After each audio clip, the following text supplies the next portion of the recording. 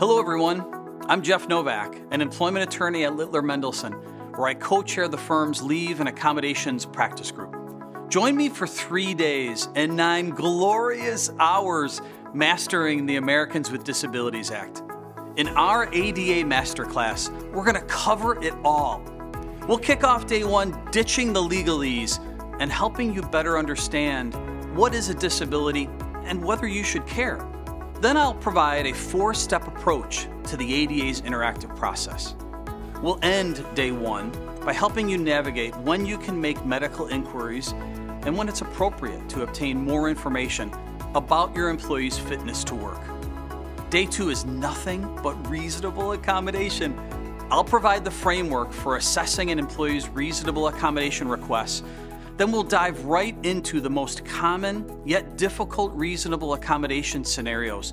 For instance, how much leave are you obligated to provide an employee under the ADA when FMLA doesn't apply? How do you address light duty and remote work?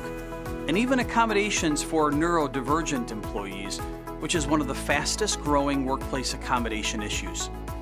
Finally, in day three, we will address pregnancy accommodations and then finish by outfitting you with an ADA toolkit.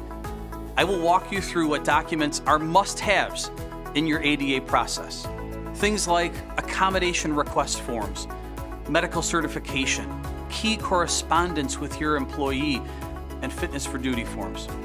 These three days will fly by, and you'll be a far more effective HR professional, ADA administrator, in house, or employment counsel because of it. I haven't decided whether I'm gonna sing just yet, but trust me, you'll want to shout the ADA from the mountaintops by the time we're done. See you then.